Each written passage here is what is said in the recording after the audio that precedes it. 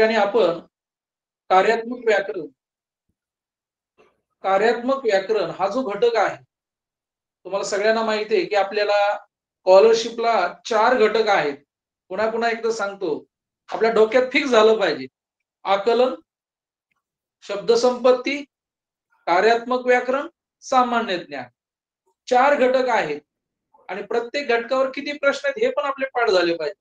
आकलनवर सहा प्रश्न आहेत. शब्दसंपत्ती सहा आणि कार्यात्मक व्याकरण अकरा प्रश्न आहेत.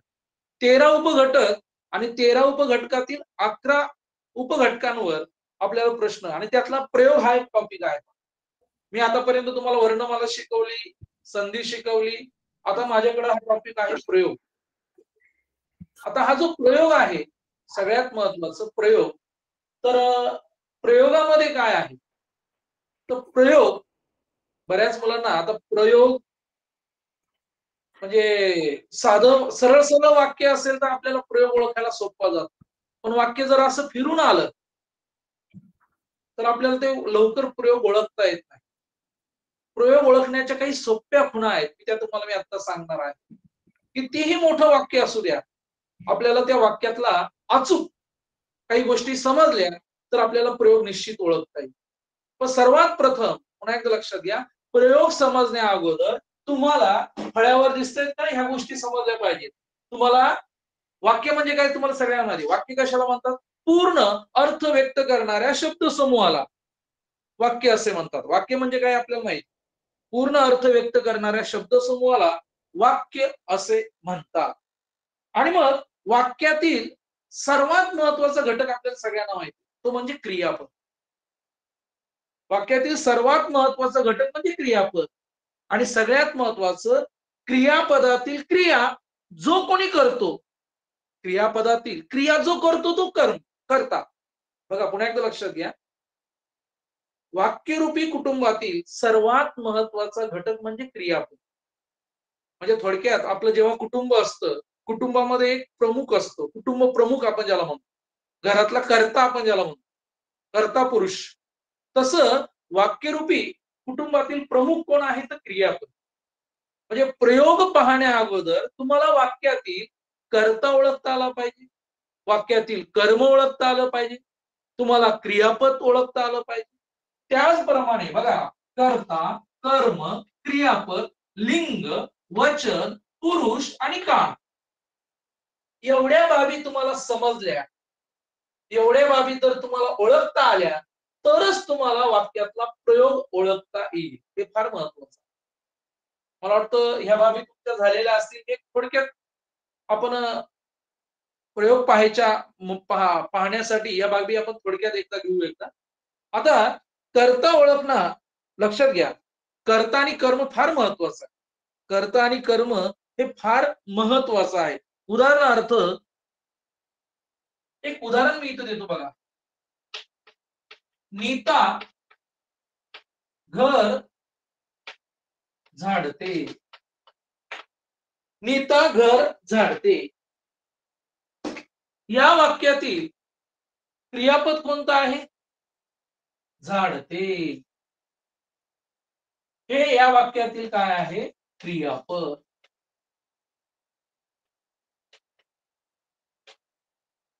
आता क्रियापद कोणाला म्हणतात सगळ्यांना माहिती? क्रियापद कोणाला म्हणतात? वाक्याचा अर्थ पूर्ण करणाऱ्या.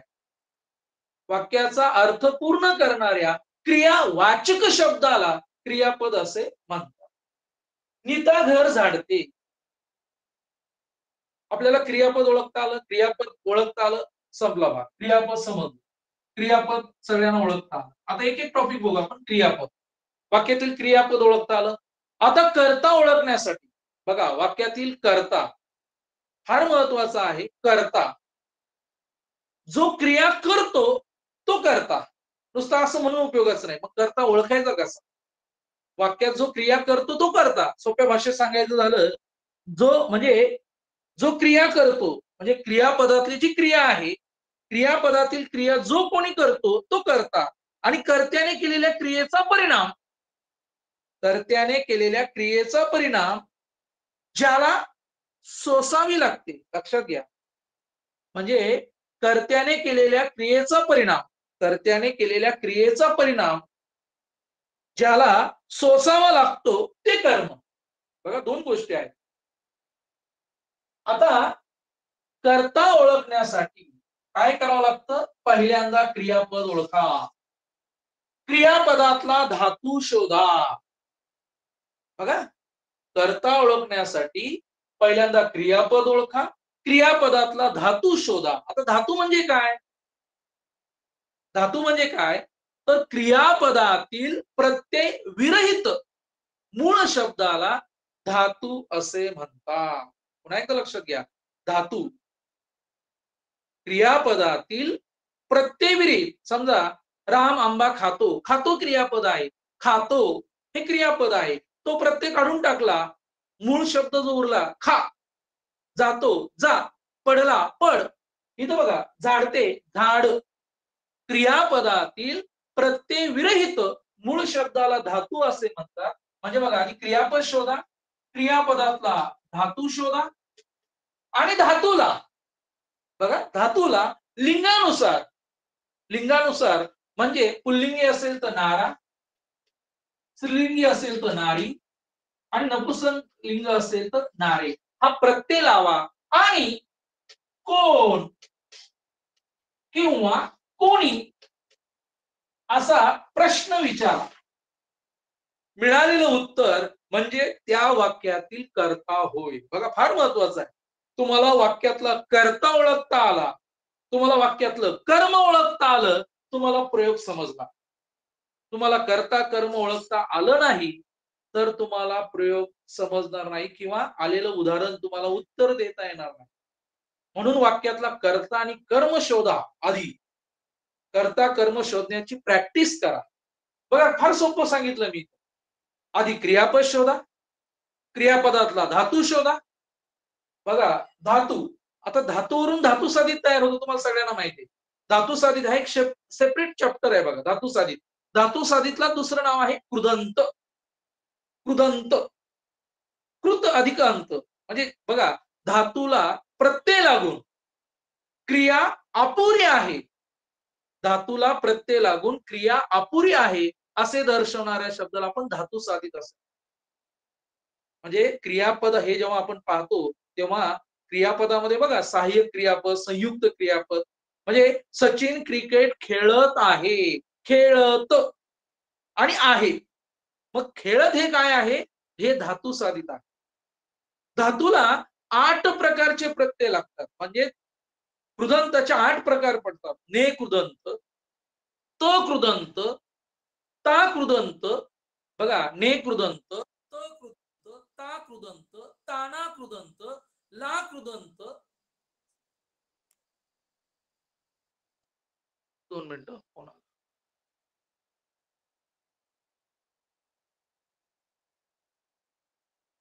हॅलो आवाज येतोय का? हो येतोय ना सर येतोय येतोय. काय झालं? मधीच फोन आला का? मला वाटतं हे होतंय. धातूला आठ प्रकारचे प्रत्यय लागतात. ने प्रत्यय ने ने म्हणजे ने बाणाचा. त्यांचे बोलणे कर्कश वाटते. ने प्रत्यय त प्रत्यय ता प्रत्यय ताना प्रत्यय ला प्रत्यय उ प्रत्यय ऊन प्रत्यय. बघा धातू धातू साधित आता आपल्याला फक्त एवढं लक्षात घ्या की धातू कशाला म्हणतात? क्रियापदातील प्रत्यय विरहित मूळ शब्दाला धातू असे म्हणतात. आणि धातूला लिंगानुसार आता आपल्याला सगळ्यांना माहिती पुल्लिंगी असेल तर नारा स्त्रीलिंगी असेल तर नारी आणि नपुसलिंग असेल तर नारी हा प्रत्यय आणि कोण? आता इथं बघा झाड. म्हणजे झाडणारी कोण? असा प्रश्न होतो साधारण.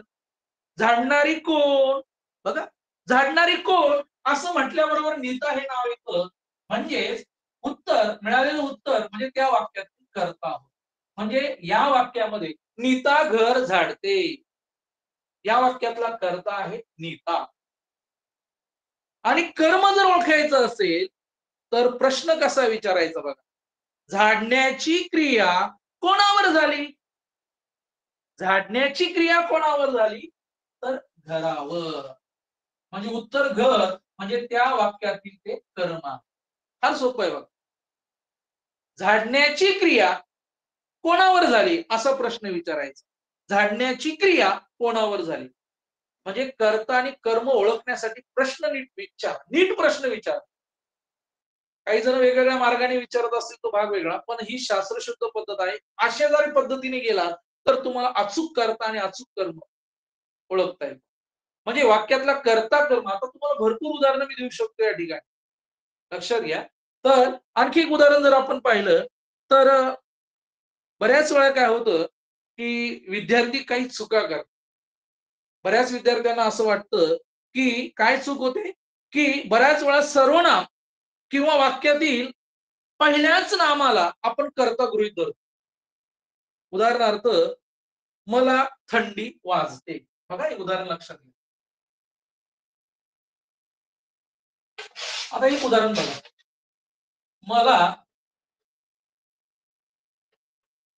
थंडी वाजते. बघा हे एक उदाहरण आहे. आता या वाक्यातील कर्ता तुम्हाला ओळखायचा. बऱ्याच जण काय फसतील? लगेच घेऊन टाकतील मला. मला हे या वाक्यातील कर्ता नाही. बघा नियम कसा आहे? आधी आपण काय म्हणजे कसं शिकलोय? आधी क्रियापद ओळखा. वाजते. हे क्रियापद आहे. यातला धातू शोधा. धातू आहे वाच नारा प्रत्यय पहा. किंवा नारी प्रत्यय बघा. मग वाजणारी कोण? लक्षात घ्या. वाजणारी कोण? वाजणारी कोण असा प्रश्न विचारला बरोबर? उत्तर येतं थंडी. म्हणजे या वाक्यातील थंडी हा करता आहे. मला थंडी वाजते. वाजणारी कोण? म्हणजे थंडी हे उत्तर येतं. या ठिकाणी थंडी हा करता होय. या ठिकाणी या वाक्यामध्ये कर्म नाही. लक्षात घ्या. म्हणजे कर्त्यापासून क्रिया सुरू झाली आणि ती कर्त्याजवळच संपली. कर्म केव्हा होतं? म्हणजे कर्म केव्हा असतं? म्हणजे ज्याच्यावर क्रिया घडते. बघा राम आंबा खातो. खाणारा कोण? राम. खाणारा कोण? राम. खाण्याची क्रिया कोणावर घडली? आंब्यावर. म्हणजे राम करता आहे आंबा कर्म आहे. पण अशी काही उदाहरणं असतात की ज्या उदाहरणामध्ये फक्त कर्ता असतो कर्त्यापासून क्रिया सुरू होते आणि ती कर्त्यावरच संपते. म्हणजे त्या वाक्यामध्ये कर्म असत नाही. म्हणजे ती वाक्य जी असतात ती अकर्मक असतात. फार महत्वाचं. अशी अशी मी भरपूर उदाहरण सांगू शकतो. राजाला मुकुट शोभतो. मला पपई आवडते. राजाला मुकुट शोभतो शोभणारा शोभ हा धातू झाला. राजाला मुकुट शोभतो शोभणारा कोण? मुकुट. शोभणारा कोण? मुकुट. काय शोभतो? मुकुट. असाही प्रश्न विचारू शकतो मग कर्म ओळखण्यासाठी. बघा आणखीन एक सोपी. पण शक्यतो तसं विचारू नका. कर्म ओळखण्यासाठी क्रियापदाला काय कोणास कोणाला? असाही प्रश्न विचारू शकतो. काय कोणास कोणाला? मग बघा राजाला मुकुट शोभतो. शोभणारा कोण? मुकुट. काय शोभतो? मुकुट. म्हणजे या ठिकाणी लक्षात घ्या करता कर्त्यावरच क्रिया संपलेली सुरू झाली कर्त्यावरच संपलेली या वाक्यामध्ये कर्म नाही. पण मी सांगितलं त्या पद्धतीने ओळखा. कर्ता ओळखण्यासाठी पुन्हा एक लक्षात घ्या तो परत फार महत्त्वाचा आहे प्रयोग याच्यावरच अवलंबून आहे. वाक्यातला तुम्हाला कर्ता ओळखता आला पाहिजे वाक्यातलं तुम्हाला कर्म ओळखता आलं पाहिजे तरच तुम्हाला प्रयोग संपतो. तर अशा प्रकारे फार महत्वाचं आहे. राजाला मुकुट शोभतो नाकाला धार लागली. बघा नाकाला धार लागली. उदाहरण बघा नाकाला धार लागली. लागणारी कोण? धार. धारा करता आहे. नाकाला धार नाही. म्हणजे तो करता नाही. बघा करता नाही. मला पपई आवडते. आवडणारी कोण? पपई. बघा मी हे सगळे उदाहरणं मी जे आता सांगतोय हे सगळे काय आहेत? ही सगळी उदाहरणं ही अकर्मक आहेत. म्हणजे या अकर्मक क्रियापदाच्या आहेत की ज्याच्यामध्ये फक्त करता आहे कर्म नाही. कळलं सर्वांना? कर्ता आणि कर्म ओळखता येईल? त्याच्यात काही शंका आहे का? वाक्यातील कर्ता आणि कर्म ओळखता येईल? बघा आईने बशीत करंजी दिली. आईने बशीत करंजी दिली. दिली हे क्रियापद आहे. देणारी कोण? आई. देणारी कोण? आई. देण्याची क्रिया कोणावर घडली? करंजी. देण्याची क्रिया कोणावर घडली? करंजी. म्हणजे आईने त्या वाक्यातील आईने बशीत करंजी दिली. तर आईने हे काय झालं? करता झाला. आणि करंजी हे वाक्यातलं कर्म झालं. कर्ता कर्म फार महत्वाचं आहे. आपण आता पुढे जाऊ. काही वाक्य जे असे आहेत काही वाक्य जे आहेत ते द्विकर्मक असतात. हा फार महत्त्वाचा आहे. द्विकर्मक क्रियापदांचे असतात. समजा आजी अं, आजीने नातीला गोष्ट सांगितली. बघा आजीने नातीला गोष्ट सांगितली. बघा आजीने नातीला गोष्ट सांगितली. सर वाक्य दिसतंय का?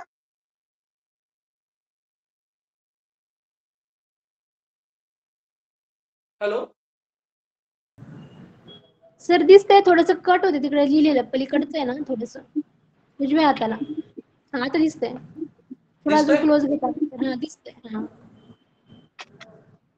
ओके. हो सर. उलट व्यवस्थित चाललंय ना? ओके झालं हो ओके सर व्यवस्थित आहे. आजीने नातीला गोष्ट सांगितली. बघा हे उदाहरण. आपण काय बघतो? काही वाक्यांमध्ये दोन कर्म असतात. द्विकर्मक क्रियापद. मुलं फसतात. म्हणजे ते काय नेमकं? काय? लक्षात घ्या. द्विकर्मक असतात. आता आजीने नातीला गोष्ट सांगितली. या वाक्यातलं क्रियापद काय आहे? सांगितली. धातू काय सांग. मग सांगणारी कोण? अजी हा हा त्या वाक्यातला करता. करता. सांगण्याची क्रिया कोणावर घडली? बघा नात आणि गोष्ट दोन आहे नात आणि गोष्ट. म्हणजे दोन कर्म आहेत नात आणि गोष्ट. किंवा बाबांनी मला सायकल आणली. आणखीन एक उदाहरण बघा.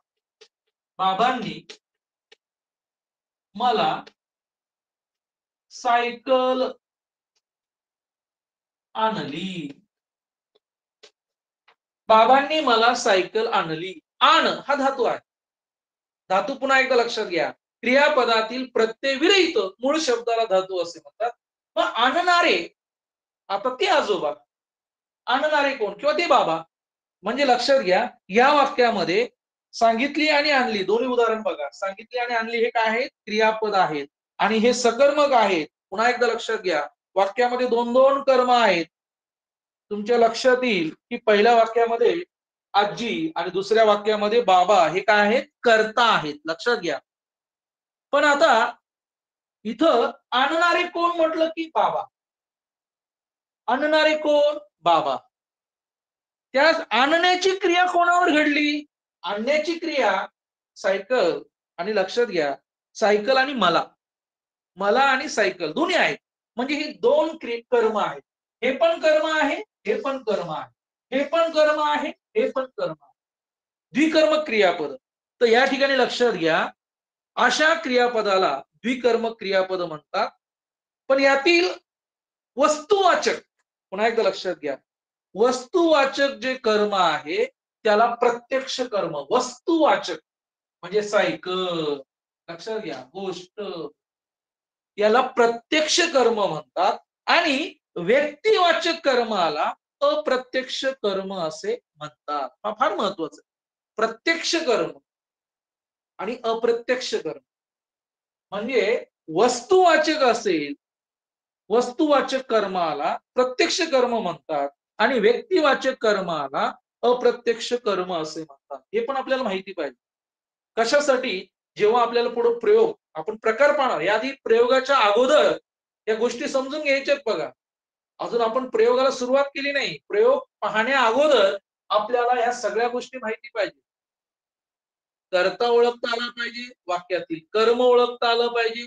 त्यातलं प्रत्यक्ष कर्म कोणतं आहे? अप्रत्यक्ष कर्म कोणतं आहे? हे आपल्याला काही वाक्यामध्ये दोन दोन कर्म असतात. हे जे उदाहरण दोन आहे बा आजीने नातीला गोष्ट सांगितली. सांगणारी कोण? आजी. काय सांगितली? कोणाला सांगितली? बघा काय कोणास कोणाला? असा प्रश्न विचारला क्रियापदाला तरी कर्म मिळतं. काय सांगितली? गोष्ट सांगितली. कोणाला सांगितली? नातीला सांगितली. किंवा सांगण्याची क्रिया कोणावर घडली? तर नात आणि गोष्ट. इथं सुद्धा बाबांनी मला सायकल आणली. आणणारे कोण? बाबा. काय आणली? सायकल आणली. कोणाला आणली? मला आणली. कर्म ओळखण्यासाठी क्रियापदाला काय कोणास कोणाला? हे तीन प्रश्न विचारले तरी चालतील. पण सोपं तसं न करता आधी मी जे सांगितलं त्या पद्धतीने. फक्त करता ओळखा. करता ओळखण्यासाठी क्रियापद धातू धातूला नारा नारी प्रत्यय आणि कोण कोणी प्रश्न तर हे झालं गोष्ट हे म्हणजे हे प्रत्यक्ष कर्म झालं.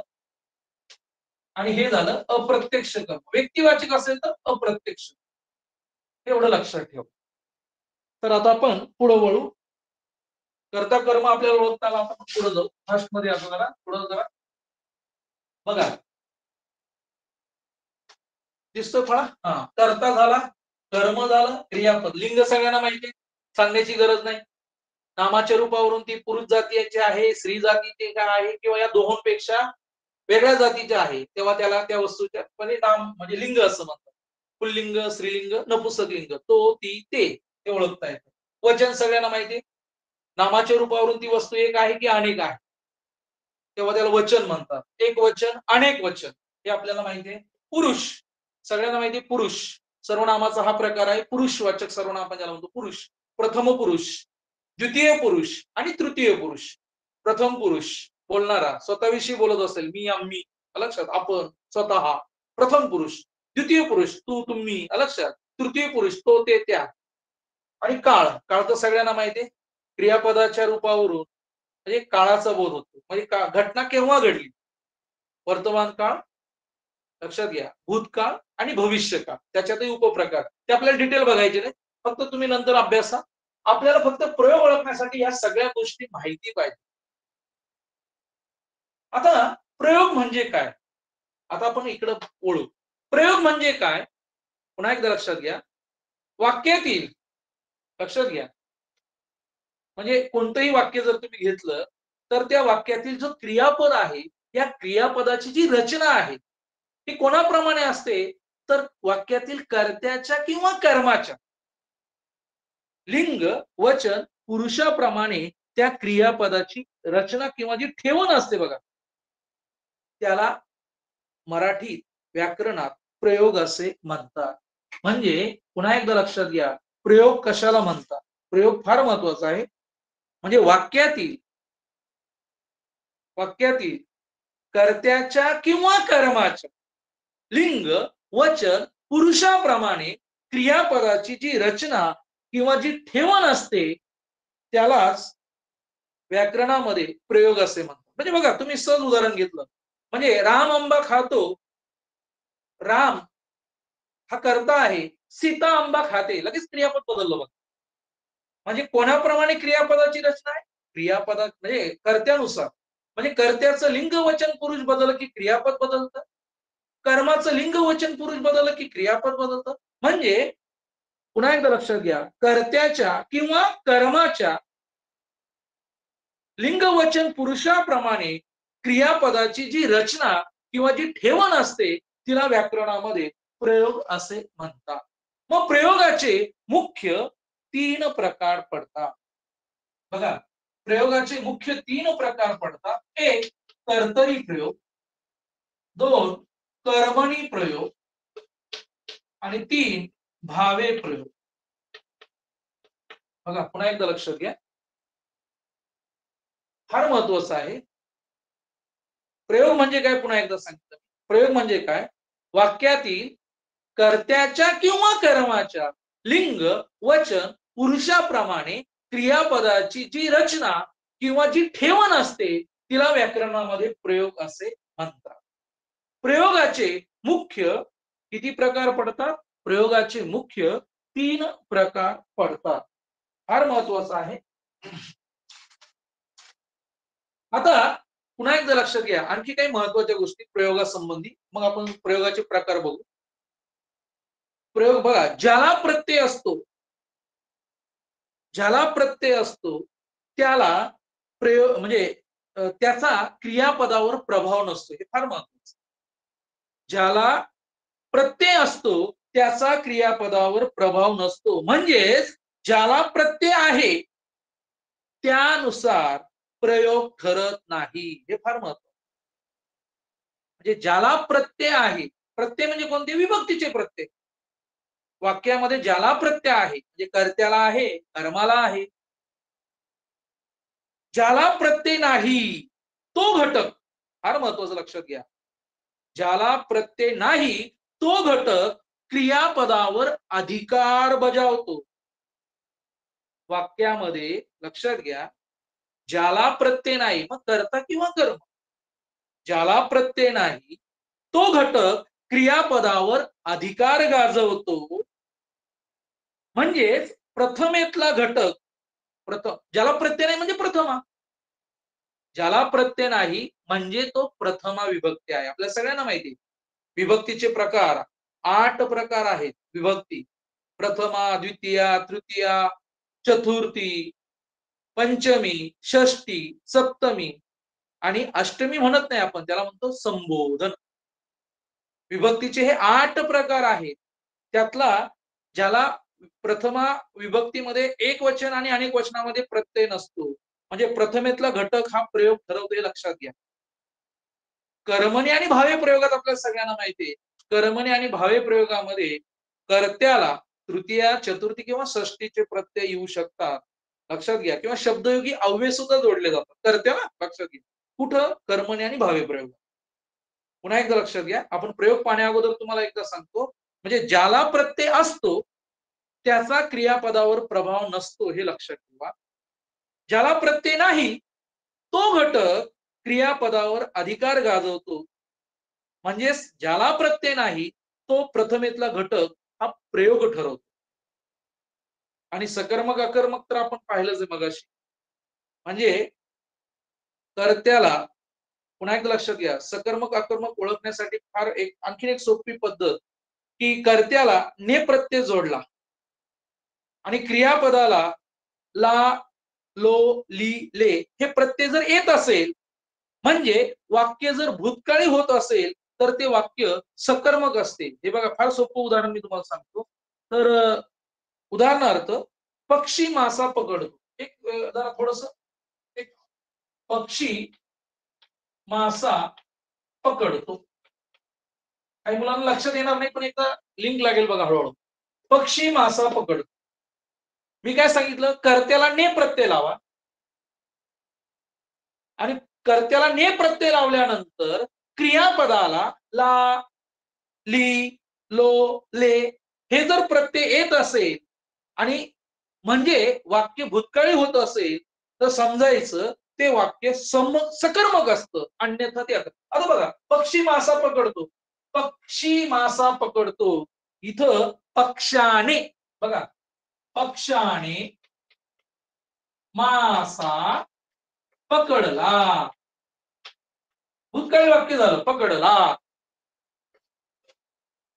म्हणजे हे वाक्य सकर्मक आहे. सकर्मक आहे म्हणजे या वाक्यामध्ये कर्म आहे. म्हणजे सकर्मक ओळखण्यासाठी आणखीन एक सोपी खूण म्हणजे तुमच्या लक्षात आलं पाहिजे. कर्त्याला ने प्रत्यय जोडल्यानंतर तुम्ही मनातल्या मनात जोडू शकता. एखादं उदाहरण आलंय. उदाहरणार्थ मधु दूध पिते. दूध पिते. मधुने दूध पिले. मधुने दूध पिले. मधुने दूध पिले. पिणारी कोण? मधु. पिण्याची क्रिया कोणावर घडली? दुधावर. म्हणजे कर्ता पण आहे कर्म पण आहे. म्हणजे या वाक्यामध्ये कर्ता आणि कर्म आहे आणि म्हणून ते झालं सकर्मक क्रियापद. सकर्मक क्रियापद. आणि अन्यथा ते काय असेल? अकर्मक असेल. ते उदाहरण अकर्मकचे मी तुम्हाला भरपूर सांगितले.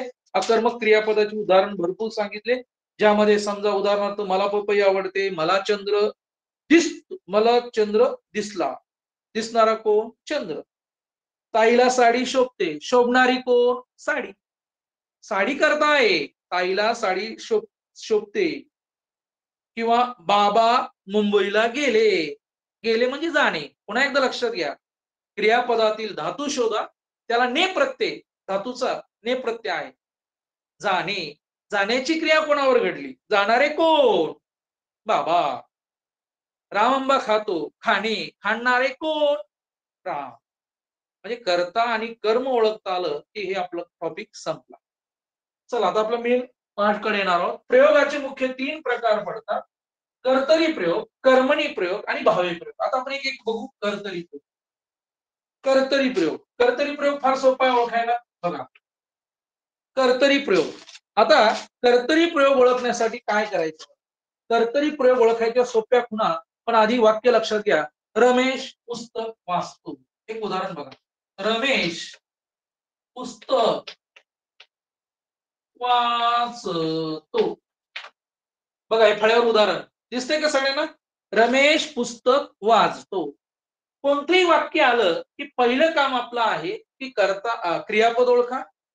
क्रियापदातला धातू शोधा. धातूला नारा नारी प्रत्यय लावा आणि लिंगानुसार आणि कोण कोणी प्रश्न विचारा. म्हणजे आधी वाक्य आलं की कर्ता कर्म क्रियापद तीन गोष्टी शोधायच्या आहेत. रमेश पुस्तक वाचतो वाचतो हे क्रियापद.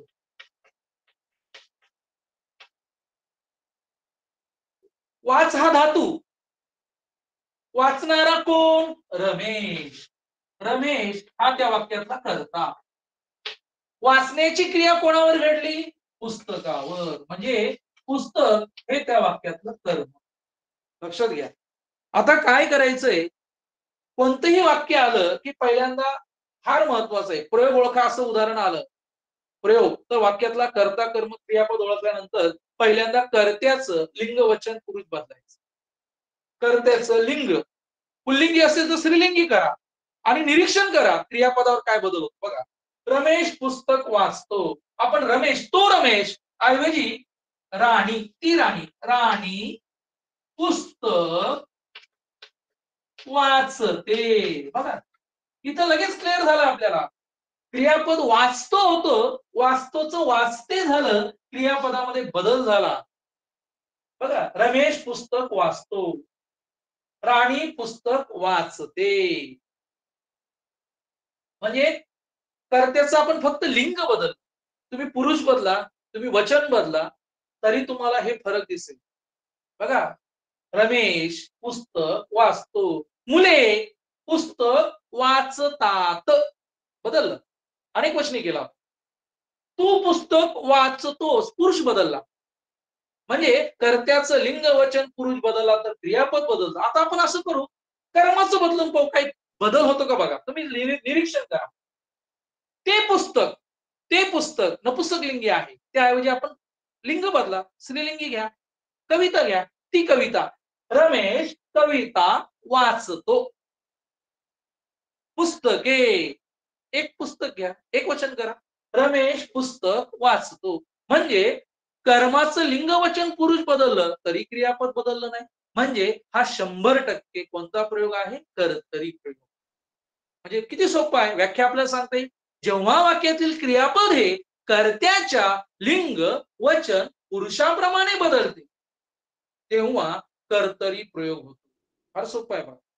कर्तरी प्रयोगाची लक्षणं फार सोपी आहेत. कर्तरी प्रयोगामध्ये बघा हा करता. कर्तरी प्रयोगामध्ये कर्ता प्रथमांत असतो. म्हणजे कर्त्याला विभक्तीचा कोणताही प्रत्यय नसतो. प्रथमा विभक्ती आपण ज्याला म्हणतो. आणि कर्म आहे. कर्म कधी प्रथमा असतं तर कधी द्वितीय असतं. हे लक्षात घ्या. आणि सगळ्यात महत्वाचं वाक्य शक्यतो हे काय असतं? वर्तमान काळी म्हणजे क्रियापद. शक्यतो वर्तमान काळी असतं. तर अशा प्रकारे कर्तरी प्रयोग ओळखण्याची सोपी खूप. कर्तरी प्रयोगामध्ये कर्ता प्रथम एवढं लक्षात ठेवा. कर्त्याला जर कोणताही प्रत्यय नसेल कर्ता प्रथमांत असतो तर समजून घ्यायचं ते वाक्य कर्तरी प्रयोगाचं. आता आणखी कर्तरी प्रयोगाचे दोन प्रकार पडतात. ते फार महत्वाचं आहे. आपल्याला सरळ सरळ विचारलं जात नाही. सकर्मक अकर्मक हे फार महत्वाचं कर्तरी प्रयोगाचे दोन उपप्रकार पडतात. सकर्मक क्रियापद म्हणजे सकर्मक कर्तरी प्रयोग आणि अकर्मक कर्तरी प्रयोग. कर्तरी प्रयोगाचे दोन प्रकार पडतात. एक सकर्मक कर्तरी प्रयोग. आणि दुसरा प्रकार आहे अकर्मक कर्तरी प्रयोग. सकर्मक अकर्मक म्हणजे आता मागाशी आपण पाहिलं तेच. पुन्हा लक्षात घ्या. आता कर्तरी प्रयोगाच उदाहरण आहे. आता मगाच उदाहरण बघा. रमेश पुस्तक वाचतो. राम आंबा खातो. या वाक्यामध्ये कर्तरी प्रयोग आहे. पण त्या वाक्यामध्ये कर्म पण आहे. म्हणून तो झाला सकर्मक कर्तरी प्रयोग. फार सोपा आहे. म्हणजे कर्तरी प्रयोगातील कर्तरी प्रयोगातील क्रियापद हे सकर्मक असेल तर त्यावेळेस सकर्मक क्रिया सकर्मक कर्तरी प्रयोग होतो. उदाहरणार्थ म्हणजे आपण मगाशीच पाहिलं रमेश पुस्तक वाचतो. हे कर्तरी प्रयोगाचं उदाहरण आहे पण त्यामध्ये पुस्तक हे कर्म होतं म्हणून ते झालं सकर्मक कर्तरी प्रयोग. आणि अकर्मक कर्तरी म्हणजे काय? बघा राजाला मुकुट शोभतो. शोभणारा कोण? शोभ हा धातू झाला. शोभ हा धातू झाला. शोभणारा कोण? लक्षात घ्या. शोभणारा कोण? मुकुट. हा मुकुट ह्या वाक्यातला कर्ता आहे. बघा कर्ता आहे. तो मुकुट. बघा तो मुकुट. पुल्लिंगी आहे कर्त्याचं. प्रयोग ओळखण्यासाठी अगोदर कर्ता पकडा. कर्त्याचं लिंग वचन पुरुष बदला. आता तो मुकुट पुल्लिंगी आहे. ती टोपी. राजाला टोपी शोभते. बघा. मुकुट शोभतो टोपी शोभते. म्हणजे कर्त्याप्रमाणे क्रियापद बदल म्हणून हे कर्तरी प्रयोगाचं उदाहरण आहे. पण या वाक्यामध्ये कर्म नाही. म्हणून हे उदाहरण आहे अकर्म कर्तरी प्रयोग. बघा ताईला साडी शोभते मला पपई आवडते. आवडणारी कोण? पपई. पपई करता आहे. मग ती पपई ऐवजी तो पेरू. मला पपई आवडते मला पेरू आवडतो. बघा. पपई आवडते पेरू आवडतो. तर त्याप्रमाणे क्रियापद बदललं. आपल्याला माहिती जेव्हा वाक्यातील क्रियापद हे कर्त्याच्या लिंग वचन पुरुषाप्रमाणे बदलते तेव्हा तो कर्तरी प्रयोग होतो. आणि कर्तरी प्रयोग झाल्यानंतर पुढे उपप्रकार पडतात. कर्तरी प्रयोगाच उदाहरण असतं. फक्त त्या वाक्यामध्ये जर कर्म असेल तर तो सकर्मक कर्तरी आणि कर्तरी प्रयोगाचं उदाहरण असतं. फक्त त्याच्यामध्ये कर्म नसेल तर ते झालं अकर्मक कर्तरी. उदाहरणार्थ पाखरे घरट्यात परतली. पाखरे घरट्यात परतली. परतणारी कोण? पाखरे. परतण्याची क्रिया कोणावर घडली? पाखरेवरच म्हणजे कर्त्यापासून क्रिया सुरू झाली आणि कर्मावरच येऊन संपली. म्हणजे या वाक्यामध्ये कर्म नाही. पण पाखरे घरट्यात परतली. चिमणी बघा पाखरे घरट्यात परतली. ती पाखरे. लक्षात? पोपट पोपट घरट्या परतला. म्हणजे कर्त्याच्या लिंगवचन पुरुषाप्रमाणे क्रियापद बदललं म्हणून तो कर्तरी. पण वाक्यात कर्म नाही म्हणून तो अकर्मक कर्तरी. तर कर्तरी प्रयोग ओळखायची सोपी खूण म्हणजे कर्तरी प्रयोगामध्ये कर्ता हा प्रथमांत असतो. म्हणजे कर्त्याला कोणताही प्रत्यय नसतो. कर्म प्रथम असतं किंवा द्वितीय म्हणजे इथं बघा कर्म आता मुकुट सॉरी कर्म नाहीच इथं. राम आंबा खातो. आंबा त्याला प्रत्यय कर्म प्रथम अंत आहे कधी कधी अं, द्वितीय सुद्धा असू शकतो. ठीक आहे? आपण आता प्रयोगाचा दुसरा प्रकार पाहणार आहोत. कर्मणी कर्मणी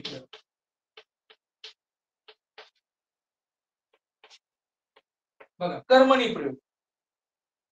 कर्मणी प्रयोग. इथं उदाहरण आपण घेऊ.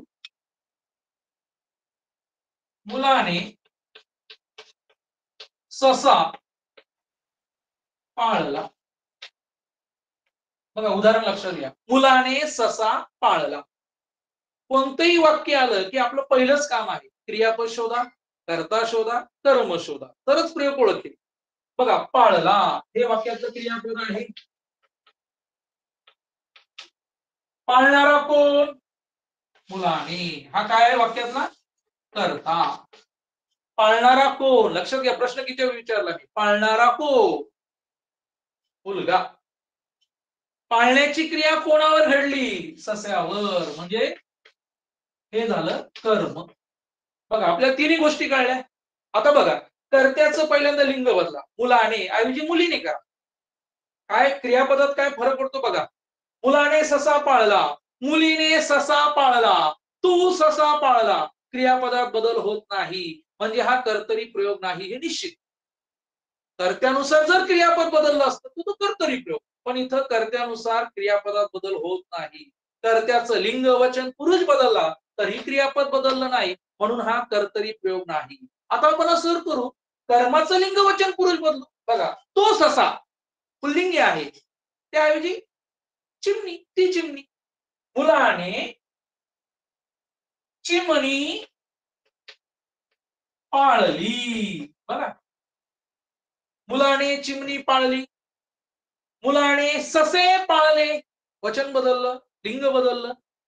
म्हणजे तुमच्या लक्षात येईल की जेव्हा वाक्यातील क्रियापद हे जेव्हा वाक्यातील क्रियापद हे म्हणजे कर्माचं लिंग वचन पुरुष बदललं की क्रियापद बदलतं. म्हणून त्या वाक्यामध्ये कोणता प्रयोग होतो? कर्मणी प्रयोग. किंवा आपण असंही सांगू शकतो जेव्हा वाक्यातील क्रियापद हे कर्माच्या लिंग वचन पुरुषानुसार बदलते तेव्हा तेव्हा तेव्हा त्या वाक्यामध्ये कर्मणी प्रयोग होतो. मग कर्मणी प्रयोग ओळखण्याची सोपी खूण म्हणजे कर्मणी प्रयोगामध्ये लक्षात घ्या. कर्मणी प्रयोगामध्ये कर्ता प्रथमांत नसतो कधीच नसतो. कर्मणी प्रयोगामध्ये कर्ता हा नेहमी तृतीया विभक्ती ने प्रत्यय बघा ने. ने प्रत्यय ने ईशी तृतीयेचे प्रत्यय बघा तृतीय विभक्ती. तृतीया किंवा चतुर्थी कधी कधी चतुर्थी पण असते पण शक्यतो तृतीयाच असते. कर्मणी प्रयोगामध्ये कर्त्याला तृतीयेचा विभक्ती प्रत्यय असतो आणि सगळ्यात महत्वाचं कर्म. कर्म हे प्रथमांत असतं. दोन्ही बाबतीत फार सोपं आहे. कर्त्याला प्रत्यय नाही कर्तरी प्रयोग. कर्माला प्रत्यय नाही कर्मणी प्रयोग. पण लक्षात घ्या कर्मणी प्रयोगामध्ये कर्त्याला मात्र प्रत्यय असतो आणि कर्त्याला प्रत्यय असतो. कर्तरी प्रयोगामध्ये कधी कधी कर्त्यालाही प्रत्यय नसतो आणि कर्माला पण नसतोच कधी कधी कर्तरी प्रयोगात कर्त्याला प्रत्यय नसतोच पण कर्म हे प्रथमा असतं किंवा द्वितीय पण असू शकतं. आणि कर्मणी प्रयोगामध्ये मात्र कर्ता हा प्रथमा नसतो. प्रथमा नसतो म्हणजे कर्त्याला तृतीयेचा किंवा कर्त्याला चतुर्थीचा सॉरी हा चतुर्थीचा प्रत्यय असू शकतो. पण इथं मात्र कर्मणी प्रयोगामध्ये कर्माला प्रत्यय नसतो. हे फार महत्वाचं आहे. कर्मणी प्रयोगाचं लक्ष. आणि सगळ्यात महत्वाचं जसं कर्तरी प्रयोगाचे दोन प्रकार पडतात सकर्मक आणि अकर्मक. तसं कर्मणी प्रयोगाचे दोन प्रकार पडत नाही. कारण कर्मणी नसेल वाक्यात कर्मच नसेल तर कर्मणी प्रयोग होणारच नाही. त्यामुळं सकर्मक अकर्मकचा प्रश्न येत नाही. हे लक्षात घ्या. कर्मणी प्रयोग केव्हा होतो? कर्मणी प्रयोग केव्हा होतो? जेव्हा वाक्यातील कर्मानुसार कर्माच्या लिंग वचन पुरुषानुसार क्रियापद बदलतं तेव्हा कर्मणी प्रयोग होतो. आणि जर कर्मच नसेल वाक्यात तर कर्मणी प्रयोगच होणार नाही. त्यामुळं कर्मणीचे सकर्मक अकर्मक प्रकार पडत नाही. बघा प्रयोगाचे मुख्य तीन प्रकार आहेत. कर्तरी प्रयोग कर्मणी प्रयोग आणि भावे प्रयोग. त्यातला कर्तरी प्रयोग आपण पाहिला. कर्तरी प्रयोगामध्ये दोन प्रकार पडतात. सकर्मक कर्तरी प्रयोग अकर्मक कर्तरी प्रयोग. कर्मणी प्रयोगामध्ये प्रकार पडत नाही. आता तिसरा प्रकार पाहणार आहोत. भावे प्रयोग. तिसरा प्रकार आहे भावे प्रयोग. ओळखायला फार सोपा आहे बघा. भावे प्रयोग हा ओळखायला फार सोपा आहे. भावे प्रयोग ओळखायला फार सोपा आहे. उदाहरणार्थ बघा. एक उदाहरण मी तुम्हाला सांगतो भावे प्रयोगाचं. मुलाने घोड्यास मारले. बघा हे उदाहरण लक्षात मुलाने घोड्यास मारले. या उदाहरणामध्ये तुमच्या लक्षात येईल. मारले हे काय आहे? क्रियापद आहे. मारले हे क्रियापद आहे. मुलाने घोड्यास मारले. मारले क्रियापद आहे. मार धातू आहे. मारणे. मारणारा कोण? मुलगा. मारण्याची क्रिया कोणावर घडली? घोड्यावर. म्हणजे घोड्यास हा झाला कर्म मुलाने हे झालं त्या वाक्यातला कर्ता आणि हे झालं ते क्रियापद. म्हणजे वाक्यातील कर्ता कर्म क्रियापद ही ओळखता आली पाहिजे. फार महत्त्वाचे. वाक्यातील कर्ता कर्म क्रियापद तुम्हाला ओळखता आली तर प्रयोग संपला. आता इथं बघा. नेहमीप्रमाणे आपण आधी कर्ता पकडायचा. कोणतंही उदाहरण आधी कर्ता पकडा कर्त्याचं लिंगवचन पुरुष बदला क्रियापद बदलतं का? निरीक्षण करा. आता इथं बघा. तुम्हाला तर मी आता सोप्या स्टिक सांगितलेलं आहे इथं मुलाने कर्त्याला ने प्रत्यय आहे. म्हणजे हा कर्तरी प्रयोग तर नाहीच. कारण तुम्हाला माहितीये कर्तरी प्रयोगामध्ये कर्ता प्रथमांत असतो. तरी आपण बघा खात्री करू. मुलाने घोड्यास मारले मुलीने घोड्यास मारले तू घोड्यास मारले. कर्त्याचं लिंग मुलांनी घोड्यास मारले. कर्त्याचं लिंग वचन पुरुष बदललं क्रियापद बदललं नाही. ठीक आहे कर्ता तसाच ठेवा कर्म बदला. घोडा पुल्लिंगी आहे घोडी करा. मुलाने घोडीस मारले तरी क्रियापद बदललं नाही. म्हणजे कर्माचं लिंग वचन पुरुष बदललं तरी क्रियापद बदललं नाही. मग लक्षात घ्या. शिवाय क्रियापदाकडे लक्ष द्या. क्रियापद कसं आहे बघा? मारले. एकारांत. ए मारले. एकारांत. तृतीय पुरुषी. तृतीय पुरुष आहे बघा. नपुसक लिंग आहे आणि स्वतंत्र आहे. मग भावेप्रयोग केव्हा होतो? जेव्हा वाक्यातील क्रियापद हे जेव्हा वाक्यातील क्रियापद हे कर्त्याच्या किंवा कर्माच्या लिंग वचन पुरुषाप्रमाणे बदलत नाही. व ते नेहमी. बघा जेव्हा वाक्यातील क्रियापद हे कर्त्याच्या किंवा कर्माच्या लिंग वचन पुरुषाप्रमाणे बदलत नाही व ते नेहमी. ते व ते नेहमी कसं असतं? एकारांत नपुसक लिंगी एकवचनी असे स्वतंत्र असते तेव्हा भावे प्रयोग होतो. म्हणजे लक्षात घ्या भावेप्रयोग केव्हा होतो? म्हणजे जेव्हा वाक्यातील क्रियापद हे कर्त्याच्या किंवा कर्माच्या लिंग वचन पुरुषाप्रमाणे बदलत नाही व ते नेहमी एकवचनी तृतीय पुरुषी नपुसक लिंगी असे स्वतंत्र असते तेव्हा भावे प्रयोग होतो. म्हणजे इथं तुमच्या लक्षात येईल. आता तुम्हा तुमच्या डोळ्यासमोर उदाहरण आहे तुमच्या सहज लक्षात येईल. भावे प्रयोगामध्ये कर्त्याला आणि कर्माला दोघांनाही प्रत्यय आहे. म्हणजे कर्ता ने प्रत्यय आहे म्हणजे तृतीया कधी कधी चतुर्थी. म्हणजे कर्त्याला तृतीया किंवा चतुर्थीचा प्रत्यय असतो. आणि कर्म जर असेल तर कर्माला मात्र द्वितीयचा द्वितीयचे प्रत्यय आपल्याला माहिती सला ते सलाना. द्वितीया. पुन्हा एकदा लक्षात घ्या. भावे प्रयोगामध्ये कर्ता हा तृतीया किंवा चतुर्थांत असतो. आणि कर्म जर असेल तर कर्माला द्वितीय विभक्तीचा प्रत्यय. म्हणजे भावे प्रयोगाचा. आणि क्रियापद हे कर्त्याच्या किंवा कर्माच्या लिंग पुरुषाप्रमाणे. लिंग वचन पुरुषानुसार बदलत नाही. म्हणजे तीनही प्रयोगाची लक्षणं तुमच्या लक्षात आली. तुमच्या सहज लक्षात येईल या तिन्ही उदाहरणांवरून तिन्ही प्रकारावरून तुमच्या सहज लक्षात येईल की वाक्यातील कर्ता कर्म क्रियापद. आता मी साधे साधे उदाहरणं घेतली. आता आपण उदाहरणं जरा बदलणार आहोत. म्हणजे तुमच्या लक्षात येईल. फक्त आता लक्षात घ्या बाह्य प्रयोगाचे सुद्धा दोन प्रकार पडतात सकर्मक भावे आणि अकर्मक भावे. आता सकर्मक आणि अकर्मक काय तर सगळ्यांना भावे प्रयोगाचंच उदाहरण असतं. भाव्य प्रयोगाचंच उदाहरण असतं पण त्यामध्ये जर कर्म असेल तर ते सकर्मक भावे. आणि भावे प्रयोगामध्ये जर कर्म नसेल तर ते झालं अकर्मक भावे. म्हणजे सकर्मक आणि अकर्मक हे लक्षात ठेव. भावे प्रयोगाचीच उदाहरणं असतात. कर्म असेल तर सकर्मक भावे आणि कर्म नसेल. म्हणजे तुम्हाला बघा अं, अकर्मक भावे प्रयोगामध्ये आकर्मक भावे प्रयोगाचं उदाहरण तुम्हाला सांगायचं झालं त्याने आता त्याने आता घरी जावे. बघा अकर्मक भावेचं उदाहरण सांग त्याने आता घरी जावे. जाणे. जाणारा कोण? तो. त्याने आता घरी जावे. काय जावे? कोणास जावे? कोणाला जावे? या वाक्यामध्ये कर्त्यापासून क्रिया सुरू झाली कर्त्यावरच संपली. त्याने आता घरी जावे. पुन्हा लक्षात घ्या. म्हणजे जावे वे वा वि वे विद्यार्थी. विधी म्हणजे कर्तव्य. आपण बघणार आहोत पुढं. क्रियापदाचा अर्थ जो आहे क्रियापदाचे अर्थ चार आहे तुम्हाला सगळ्यांना माहिती आहे. म्हणजे क्रियापदाच्या रूपावरून जसा काळाचा बोध होतो क्रियापदाच्या रूपावरून जसा काळाचा बोध होतो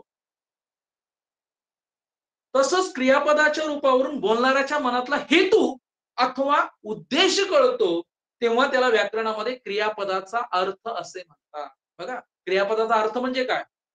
जेव्हा क्रियापदाच्या रूपावरून बोलणाऱ्याच्या मनातला हेतू अथवा उद्देश कळतो तेव्हा त्याला क्रियापदाचा अर्थ असे म्हणतात. मग क्रियापदाचे अर्थ चार आहेत. स्वार्थ अज्ञार्थ विध्यर्थ आणि संकेतार्थ. त्यातलं हे विद्यार्थ. विधी म्हणजे कर्तव्य. विधी म्हणजे कर्तव्य. म्हणजे तो किंवा म्हणजे जेव्हा वाक्यातील क्रियापदाच्या रूपावरून तर्क करणे योग्यता दर्शवणे शक्यता वर्तवणे इत्यादी गोष्टींचा बोध होत असेल तर तेव्हा त्याला काय म्हणतात? किंवा कर्तव्य सांगणे. मला नेहमी सत्संगती घडावी. कोणाला घडावी? मला. घडणारी कोण? सॉरी मला नेहमी सत्संगती घडावी. या वाक्यामध्ये घडणारी कोण? सत्संगती. हे कर्ता आहे. म्हणजे सकर्मक भावेचं उदाहरण. म्हणजे सॉरी अकर्मक भावे. याच्यात कर्म नाही. म्हणजे पुन्हा एकदा लक्षात घ्या. तुमच्या लक्षात येईल की भावे प्रयोगामध्ये म्हणजे विद्यार्थी क्रियापद असेल तर ते आकर्मक भावे प्रयोगाचं उदाहरण असेल लक्षात घ्या. आणि शक्यार्थ क्रियापद जे आहेत बघा पुन्हा एकदा लक्षात घ्या. शक्यार्थ. आजीला आता बसवते. शक्यार्थ क्रियापदाचा प्रकार आहे. म्हणजे करता क्रिया करू शकतो. आजीला आता बसवते. आजीला आता चालवते. म्हणजे ही जी शक्यार्थ क्रियापद आहेत शक्यार्थ क्रियापदांचा नेहमी भावे प्रयोग होतो. ते लक्षात ठेवा. शक्यार्थ क्रियापदाचा नेहमी भावे प्रयोग होतो आणि आक्रमक भावे प्रयोगामध्ये क्रियापद हे विद्यार्थी असतं हे दोन महत्त्वाच्या गोष्टी लक्षात ठेवा. तर अशा प्रकारे प्रयोगाचे मुख्य आपण तीन प्रकार या ठिकाणी पाहिले. प्रयोगाचे मुख्य तीन प्रकार या ठिकाणी पाहिले. कर्तरी कर्मणी आणि भावे. आता परीक्षेला काय प्रश्न विचारला जातो? परीक्षेला असा सरळ सरळ प्रश्न कधीच विचारला जात लक्षात घ्या. परीक्षेला प्रश्न कसा विचारला जातो? तर परीक्षेला काय प्रश्न असतो? की खालील वाक्यातील प्रयोग ओळखा असा प्रश्न क्वचित असतो. पण खालीलपैकी सकर्मक भावे प्रयोगाची दोन उदाहरणे शोधा. चार उदाहरणं दिलेली असतात. त्यातली दोन उदाहरण आपल्याला शोधायची असतात. मग सकर्मकची कोणती? अकर्मकची कोणती? आधी आपल्याला सगळं शोधावं लागेल आणि मग त्याच्यानुसार आपल्याला ती उदाहरणं. परीक्षेला कधी कधी विचारलं जातं की आता आपण जे पाहिलं की कर्मणी प्रयोगामध्ये कर्माला टिंबटिंब नसतो. असाही प्रश्न विचारला जातो. किंवा कर्तरी प्रयोगामध्ये कर्ता टिंबटिंब विभक्तीमध्ये असतो असेही प्रश्न विचारले जातात. कधी कधी वाक्यातील कर्ता कर्म शक्यतो नाही विचारत पण आपण लक्षात घ्या. आता बघा एक मी उदाहरण तुम्हाला सांगतो. एक उदाहरण तुम्हाला सांगतो लक्षात घ्या. माझ्या मराठी प्रेमाचा पाया साहित्यप्रेमी हे उदाहरण लक्षात घ्या. आपल्याला याच्यात आहे आपल्या मार्गदर्शिकेमध्ये आहे पा माझ्या मराठी माझ्या मराठी प्रेमाचा पाया. माझ्या मराठी प्रेमाचा पाया या साहित्यप्रेमी. शिक्षकाने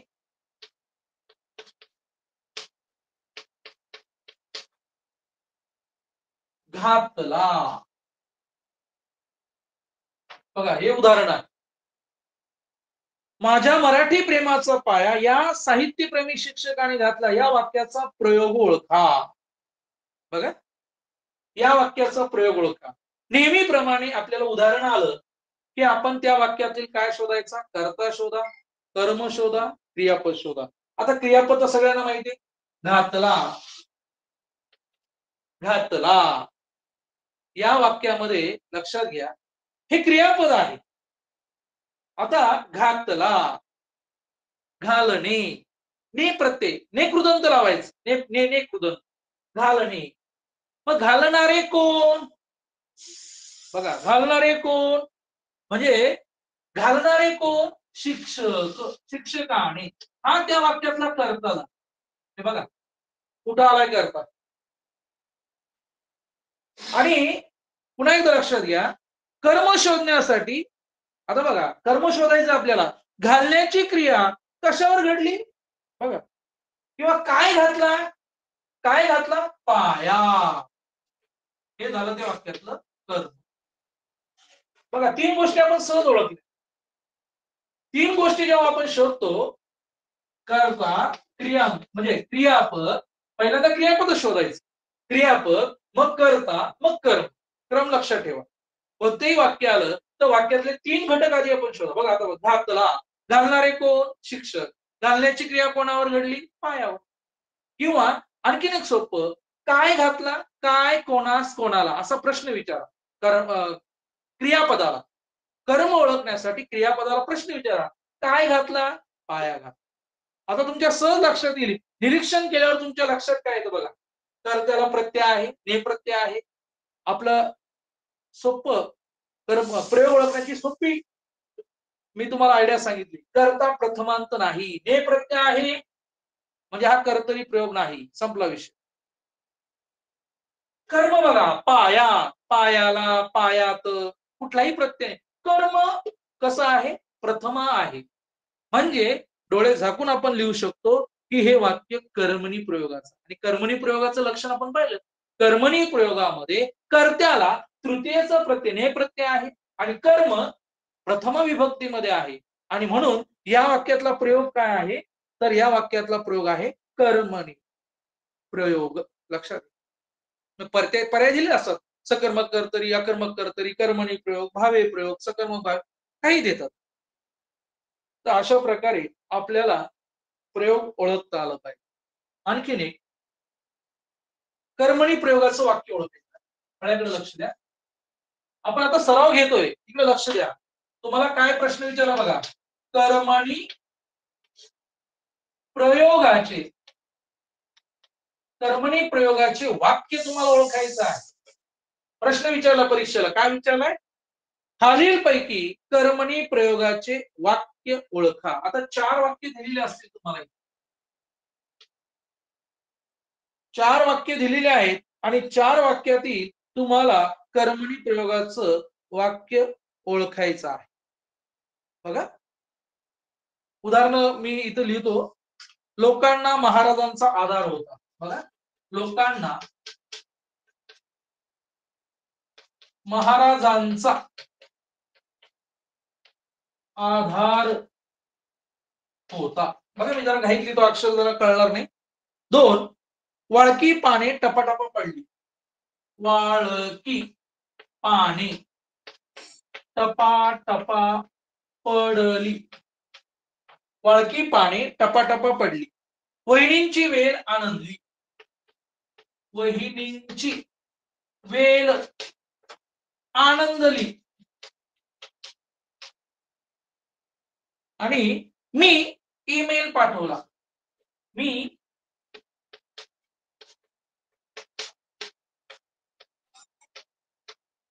मी ईमेल पाठवला.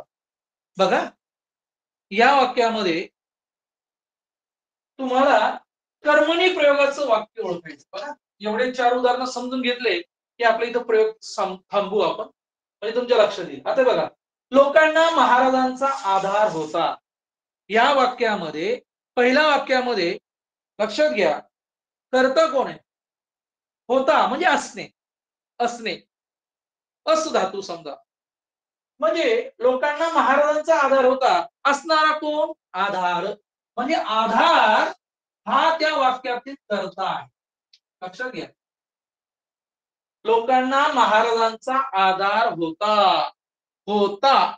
या ठिकाणी लक्षात घ्या. असणारा होता म्हणजे असणे.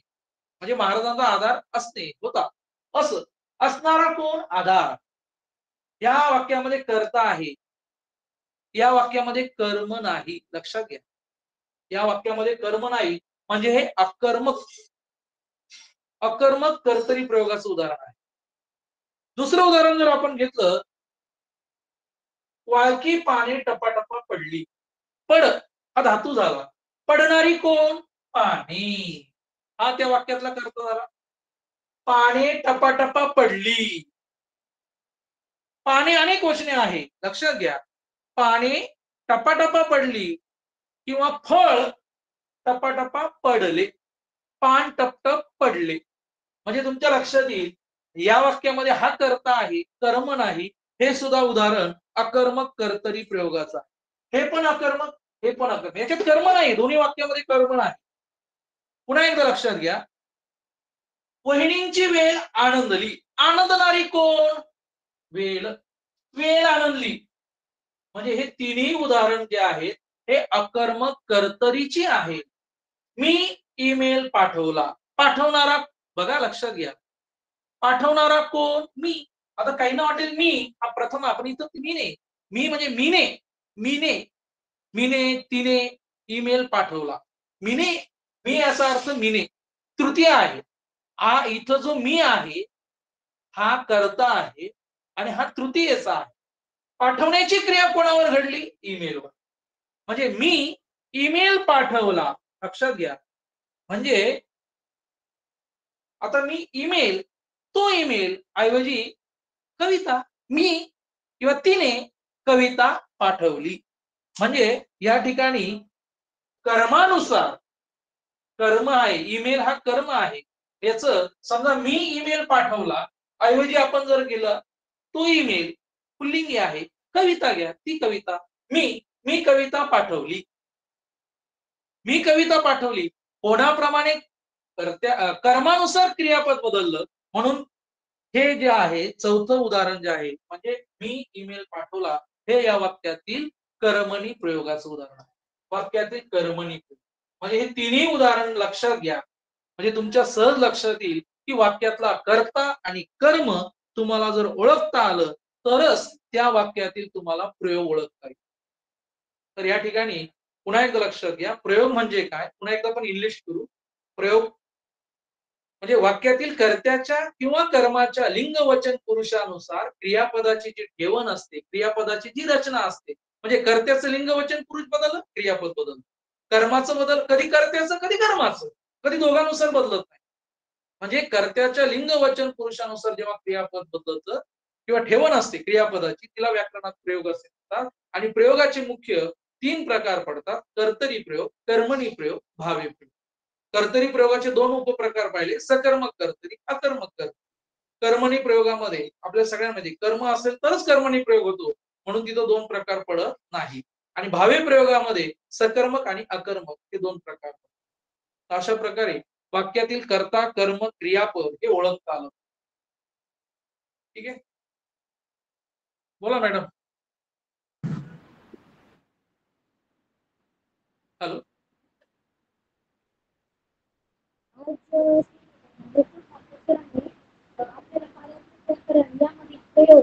आवाज येत नाही आवाज.